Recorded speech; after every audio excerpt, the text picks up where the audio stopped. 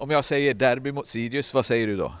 Ja, eh, att eh, allt kan hända oavsett eh, hur det har gått för något av lagen tidigare under säsongen så, så, ja, så tycker jag ändå liksom att det är derby alltid derby och ja, Sirius har ju haft en förmåga att kunna överprestera mot oss i de här matcherna så att ja, det är väl det att ja, allt kan hända och det känns ändå som att mycket står på spel.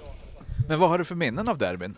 Nej, men, ja, nästan bara bra minnen. Vi har ju flest segrar i alla fall så det, det är det man kommer ihåg. Men oftast att det är mycket, mycket publik, mycket folk på läktaren, en bra härlig stämning. Det var ju några år i Fyrishov där också när Sirius hade en egen klack för en gångs skull som de hade dragit med sig. Så att det var ju liksom, och då var det tryggt där i Fyrishov. Så att det är väl liksom de där första derbyna man spelade för, vad är det, 11-12 år sedan. Det är det man kommer ihåg bra. Men vad är det som är speciellt med derby? Vad får dig att gå igång lite extra? Nej, men det är just att det är eh, mycket publik och sen så det blir en jäkla prestige. Eh, Sirius gör en grej av att säga att de är bäst i Uppsala. Eh, men ja, jag, vet inte, jag tycker att vi har bevisat i många år nu att vi är ju det bättre laget. Eh, men eh, som sagt, sen ska det spelas om det på planen också. Eh, och man vill ju, även om vi kommer före dem i tabellen så vill man ju ändå vinna de matcherna. De känns ju väldigt, väldigt viktiga att vinna.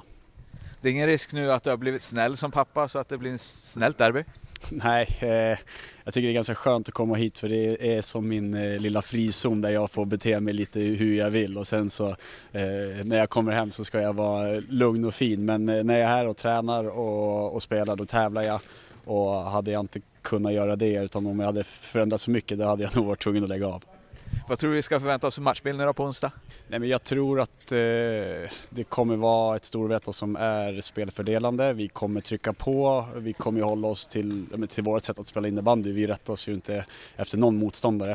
Eh, nu har jag inte koll, Sirius har eh, gjort sig av med Forsman och kompani. Jag vet inte hur de, hur de tänker med nya tränare de spelar men jag tror att de kommer vara väldigt tillbakadragna och eh, ja, alltså göra sitt och försöka täppa till och gå på kontring. Eh, så att ett Storvreta med mycket boll eh, och ett Sirius som ligger eh, defensivt och försöker kontra.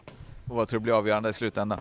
Nej men det är att vi, att vi tar tag i det från första stund och inte ger dem någonting alls. Det är, det är lätt för ett lag som känner att man får lite, lite luft under vingarna och kanske ja, någon får kontra in någon och känner sig att de, att de kan hänga med.